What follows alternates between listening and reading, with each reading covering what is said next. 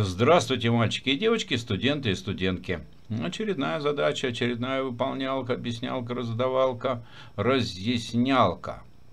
Задачка про конденсатор. Вот дана такая схема, где каждый конденсатор, как мы видим, по 2 микрофарад. И всего таких конденсаторов 10 штук. Напряжение между точками А и Б 10 вольт. Вопрос номер один. Ну, чему равняется суммарная емкость всех конденсаторов? Что нужно сделать? Но ну, прежде чем мы начнем отвечать на все эти вопросы, я напомню некоторые, так сказать, стандартные вещи. Если у нас имеется конденсаторы, которые соединены друг с другом как мы видим, последовательно. Ну, например, я взял три конденсатора C1, C2, C3, и у каждого своя емкость для того, чтобы найти общую емкость этих конденсаторов, что нужно сделать? Вот. C-total – это общая емкость. Это 1 на C1 плюс 1 на C2 плюс 1 на C3. Вот эти вещи, которые мы с вами должны знать. Дальше, что еще должны знать? Вот если у нас вот эта точка А, а это точка Б, и я хочу знать, чему равняется напряжение между точками А и Б, значит, что я должен сделать? Сложить три напряжения. Раз, э, два и три. Где первое напряжение? Это напряжение на первом конденсаторе, потом напряжение на втором и потом напряжение на третьем э, конденсаторе. И еще, что мы должны знать? Мы должны знать, что общий заряд при соединении конденсаторов последовательно, да, он у нас остается величиной постоянной, то есть заряд на первом конденсаторе равен заряду на втором конденсаторе, в нашем случае равен заряду на третьем конденсаторе, ну и так далее. И так далее. Теперь дальше. А вот что будет, если мы возьмем три конденсатора, которые будут соединены друг с другом параллельно. Вот, параллельное соединение.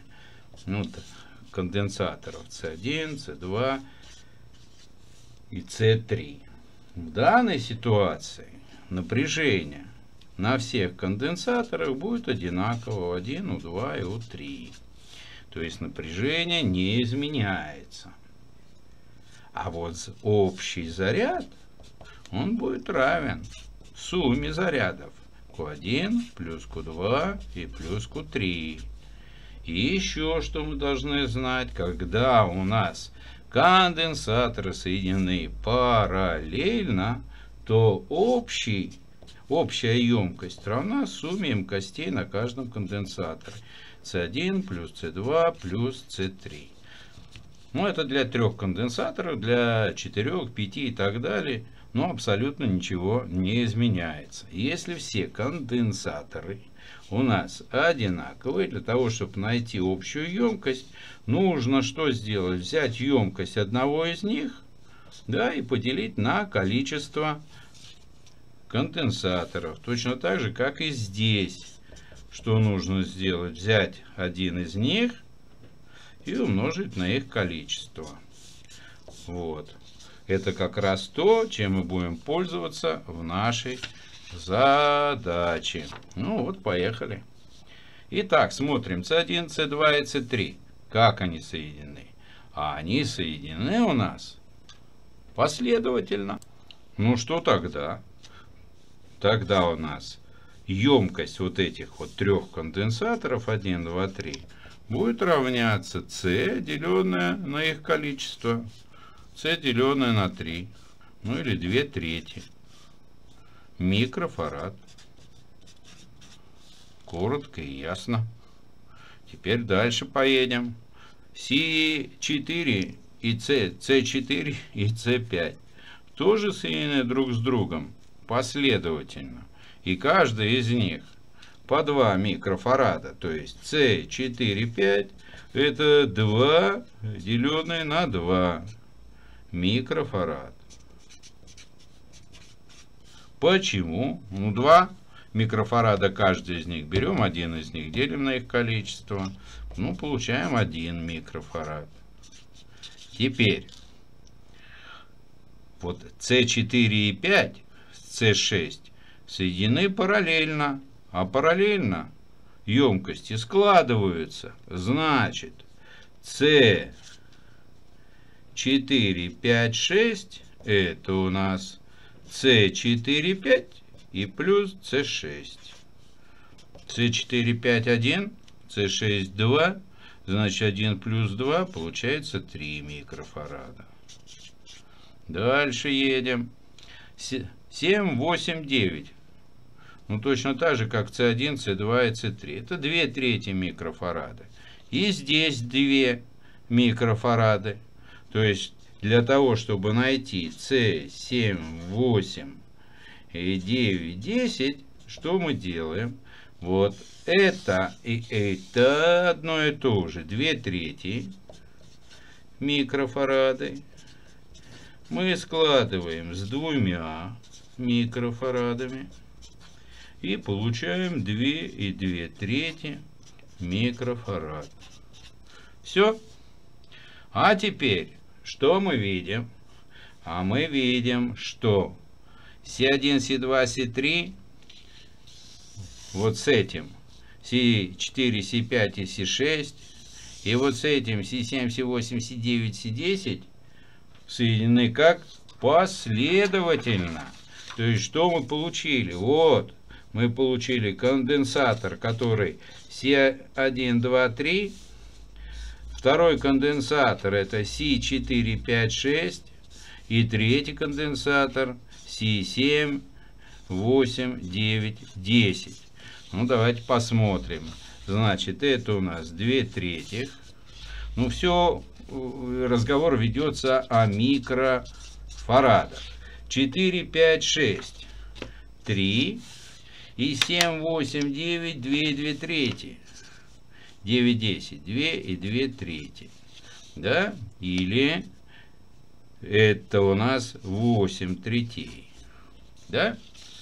Как они соединены? Они соединены друг с другом последовательно, то есть общая емкость это у нас единица на С1, 2, 3, плюс единица на С4, 5, 6, плюс единица на С7, 8, 9, 10.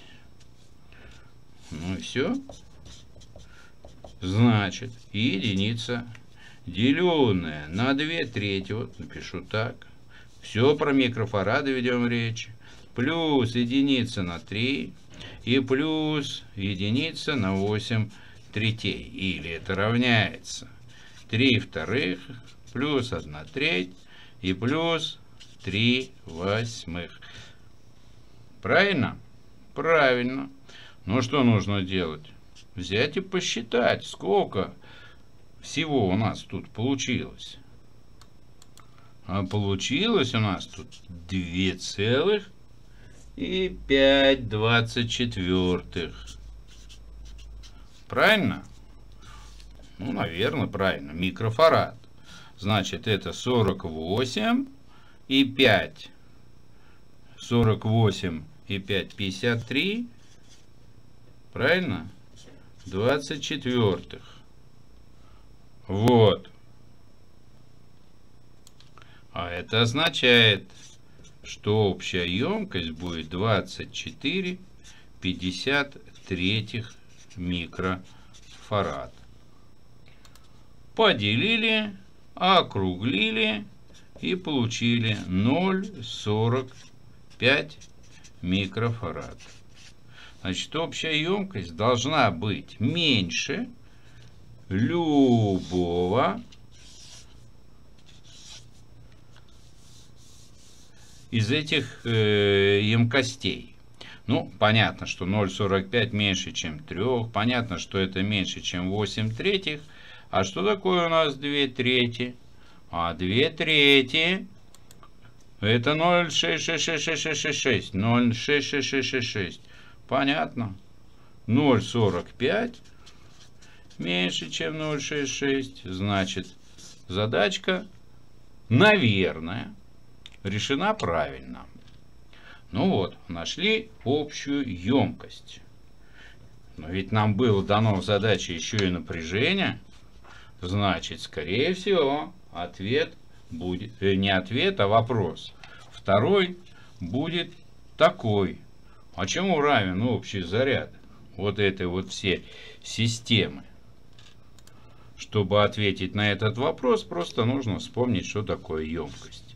Емкость – это отношение общего заряда к напряжению или к разности потенциалов. Вот и все. Значит, отсюда что будет следовать? Что Q, общий заряд у нас равен C умножить на U. Вот и все. Значит, давайте посмотрим. 0,45 микрофарад умножаем на напряжение на 10 вольт и получаем 4,5. А что 4,5? Микро кулон. Вот и все. Значит, общий заряд всей нашей системы получился равный 4,5 микрокулона. А дальше, ну что дальше? Дальше можно отвечать на вопросы, ну такого, будем говорить, плана. А чему равняется напряжение на первом конденсаторе? Ну, чему будет равняться напряжение О1 на первом конденсаторе? Это Q, деленное на C1. Правильно? Значит, 4,5 делим на 2 и получаем 2,25 вольта. Вот, 2,25. Значит, тут будет 2,25 вольта. Здесь будет 2,25. И здесь будет 2,25. А вот здесь уже 2,25 не будет. Почему?